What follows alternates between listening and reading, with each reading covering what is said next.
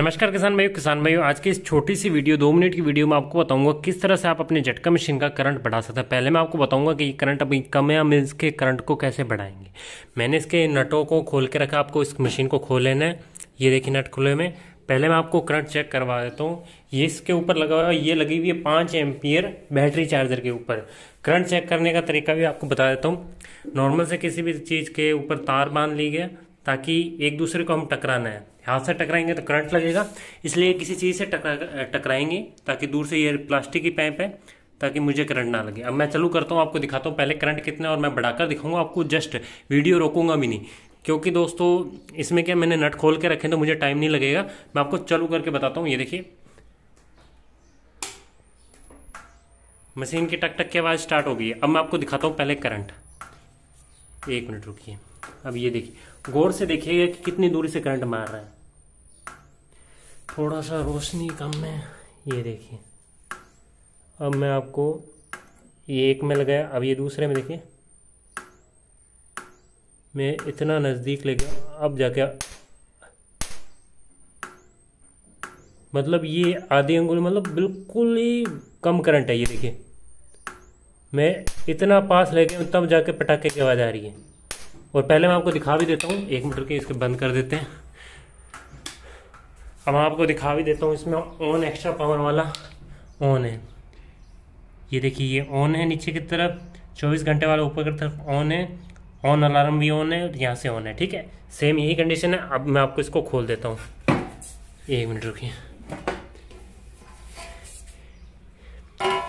वो उसका ट्रांसफार्मर वो सेल लगा और ये इसकी प्लेट है मदरबोर्ड कह सकते हैं। बाकी ये सारा सिस्टम इसमें लगा अब मैं आपको इसका करंट बढ़ाने का तरीका बताता हूँ।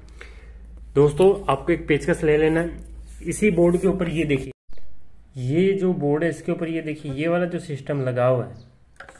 आप देख पा रहे हैं, ये जो सिस्टम लगा हुआ है ट्रिप ओ लिखा होता है। इसके ऊपर ही आपको काम करना है, जस्ट एक पेचकस लेना है। कोई भी किसी मिस्त्री की ज़रूरत नहीं है, आपको इसके ऊपर इसके लगाकर एंटी क्लॉकवाइज घुमाना है। देखिए, घड़ी घूमती है इस दिशा की तरफ़। जैसे मान लीजिए, यहाँ पर घड़ी है तो घड़ी ऐसे चलती है। एक, दो, तीन, चार, पाँच मतलब एस तरफ़ चलती है। आपको उसका उल्टा घुमाना है ऐसे एंटी क्लॉकवाइज अगर आप पढ़े हुए हैं तो आपको पता होगा एंटी क्लॉकवाइज हमें पढ़ाया होता है। इस पर लगाएँ, अपने हिसाब से घुमा लें, जैसे मैं घुमाता हूँ, एक, जितना करंट कम होगा, उस हिसाब से बढ़ाएँ। अगर करंट मेरे जितना इस मशीन का कम है तो आपको इसको करीबन चार से पाँच बार घुमाना पड़ेगा अगर करंट थोड़ा सा ही बढ़ाना है तो एक आध दो बार घुमाए। अगर करंट बिल्कुल ही कम है तो छः से सात बार घुमाना है ओके और ज़्यादा भी ना घुमाए, नहीं तो दिक्कत आ जाती है। एक हो गया, ये दो, ये तीन, ये चार, मैं पाँच और घुमा देता हूँ। ये पाँच, ये देखिए पाँच।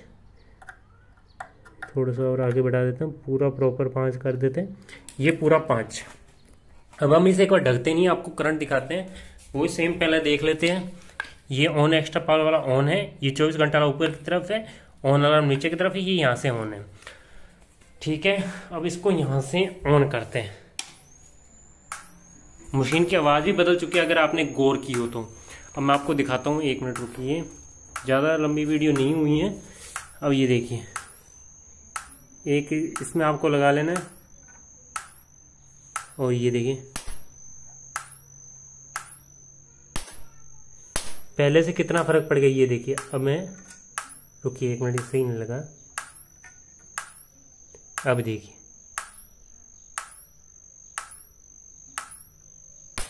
ये देखिए, कितनी दूर से करंट मार रहा है। पहले मैं करीबन करीबन यहाँ तक लेके गया था, तब करंट मारा था। अब देखिए, इतनी दूर भी करंट पकड़ रहा है। तो करंट काफ़ी ज़्यादा बढ़ चुका है रियल में। और इससे आपको जो पशु मतलब टक्कर जाता था, फिर भी धक्का करता था तारों के साथ मतलब ट्राई करता था, तारे तोड़ देता। अब वो तार के टक्कर ही भाग जाएगा। गारंटी के तौर पे कोई कुत्तिया या मतलब कुत्ता या कोई भी चीज़ बिल्कुल पास में नहीं आएगी, क्योंकि करंट पूरा बढ़ चुका है। ठीक है दोस्तों, अब आवाज़ भी समझ सकते हैं। पहले से पटाखा भी बहुत तेज हो गया मशीन का आवाज़ भी बदल गई है। तो इस तरह से आप इसका करंट बढ़ा सकते हैं। लास्ट एक मैं आपको ट्रिक भी बता देता हूँ। और इसके बाद भी अगर कोई आपको दिक्कत आती तो एक बात विशेष रूप से ध्यान रखिएगा। जो आपने वायरिंग की है, वो बार बार कहीं कहीं दूर मतलब कहीं एक से ज़्यादा जगहों पर अगर टक्कर रखी है, हर जगह पर टक टक की आवाज़ आती है तो उन जगह को सही कीजिए। मतलब वहाँ पर गुट्टी लगाइए या फिर तार किसी लोग के तार के बिल्कुल पास में तो उसको दूर कीजिए।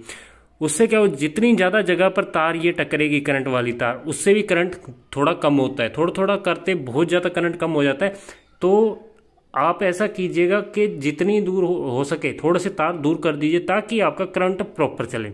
तीसरी लास्ट चीज़ अर्थिंग बेस्ट रखें। अर्थिंग में पानी डाल दीजिए कोयला डाल दीजिए नमक डाल दीजिए। अर्थिंग में ऐसा है नमी बनी रहनी चाहिए। नमक और कोयला नमी बनाते हैं।